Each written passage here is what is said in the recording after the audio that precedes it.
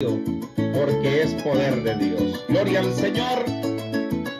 Por eso estamos anunciando el Evangelio de Cristo por todas partes del mundo, no solamente aquí en el Guainía, sino en todas partes del mundo. Hay mucha gente que se avergüenza de Cristo porque no entiende lo que él un día padeció. Por todo aquel que se encontraba perdido, fue por amor que mi Señor se entregó. Si te avergüenzas del Evangelio divino, escucha hermano y amigo, no alcanzarás el perdón. Pero si vienes a Jesús arrepentido, te librará del maligno y de la gran condenación. El Evangelio de Cristo es el único camino y es la única esperanza para el hombre pecador.